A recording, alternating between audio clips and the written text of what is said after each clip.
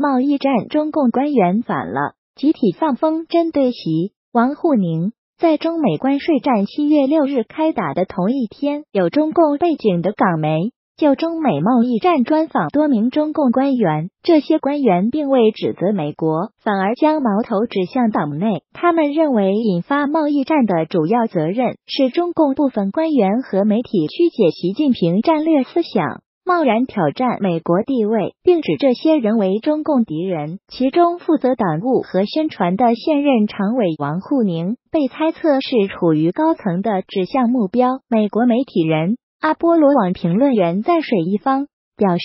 这些官员在有中共背景的媒体上这么说，一方面是放风，另一方面背后肯定是受了旨意，主要是为了忽悠美国政府。对中共还抱有希望的中国民众，当然也不能完全排除是党内有一些人对中共的宣传系统有看法，通过这种方式来放炮。但对宣传系统的常委王沪宁。可能不会有多大影响。王沪宁也是要向习近平直接汇报的，但毫无疑问的是，中共官员会担忧，对美贸易战如果拖垮中共，荣华富贵就随风而逝了。另外，七月六日当天，中共各大媒体都在发文谴责美国，却一点不提此贸易战，是因中共不遵守加入世贸组织的规则，美国不得已在经济自卫所致。中共官员借港媒放风，七月六日。香港港媒《香港零一》发表了对几名中共一名官员就中美贸易冲突相关的专访。从对话内容判断，受访的包括外交系统。政府部门和经济领域的官员，香港党媒《香港零一》和中共的海外大外宣媒体多为是同一个老板。这些官员称，中共最高领导人习近平从未放弃韬光养晦，只是根据现实情况稍微有所调整。但是，习提出的宽广的太平洋可以容纳中美两国和一带。一路倡议等外交思路被中共一些官员和部分党媒曲解，有官员表态称，其实中方最终目标还是化解贸易战，实现中美双边达成新的妥协，不到最后一刻不会让事态发展到鱼死网破的对抗。令人关注的是，这些官员谈的最多的是谁该为贸易开战负责？他们都没有指责美国政府，而是认为。责任是中共党内部分官员和党媒，他们认为党内那些不当的言论和做法引起美国反击，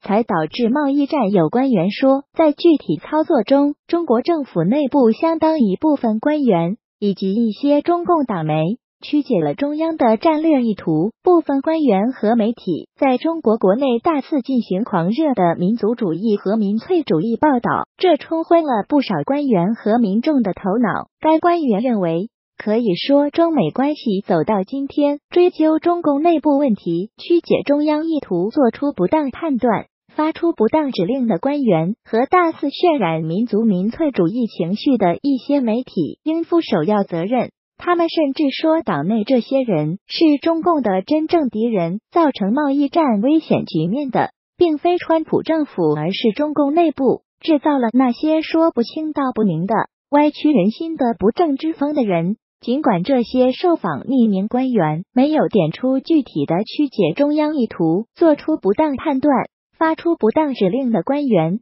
和大肆渲染民族民粹主义情绪的一些媒体，外界认为其矛头已指向分管党务和宣传的现任政治局常委王沪宁。美国媒体人阿波罗网评论员在水一方表示，这些观点可能不完全是体制内官员表达自己的看法，这些官员在有中共背景的媒体上这么说。一方面是放风，另一方面背后肯定是受了旨意，希望能忽悠美国政府。对中共还抱有希望的人在水一方说，中共好几个官员冒着风险表达观点，又选择在共产党的媒体上讲，是被允许的放风，是对各方面有个交代，找个替罪羊。不理性宣传的官员就是替罪羊，对外部是麻痹作用，让人们看不出来中共这样做的本质。就是根本上不想遵守世贸承诺。在水一方分析，一方面是影响美国政府对中共的判断，好像中共有很理性的一派；另一方面也忽悠对中共抱有希望的自由世界人士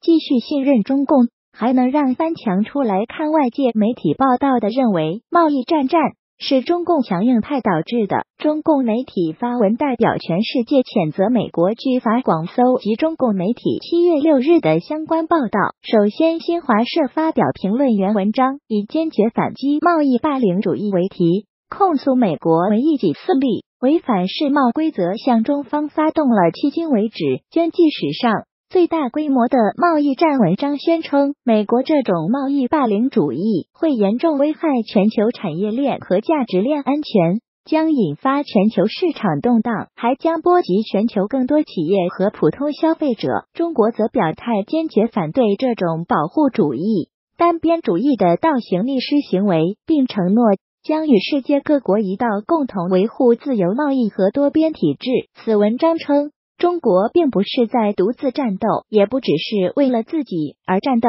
而中国坚决反击贸易霸凌主义，既是维护和捍卫中国利益，也是维护和捍卫全世界人民共同利益。中共党媒《人民日报》同样在当天发文强调，美国贸易霸凌主义贻害全球。文章提出，贸易战这动摇不了中国经济发展根基，削弱不了中国人民实现两个一百年奋斗目标的信心。和底气，也必定遭到应有的反击。然而，美国无理耍横之举所夹带的贸易霸凌主义。却是贻害无穷，既有损中美两国企业和人民的利益，也严重威胁着全球自由贸易和多边体制，阻碍世界经济复苏步伐。然而，这些媒体报道时均只字不提贸易战，是因中共不遵守十七年前的二零零一年加入世贸组织的规则，美国不得已在经济上自卫所致。阿波罗网孙瑞后报道。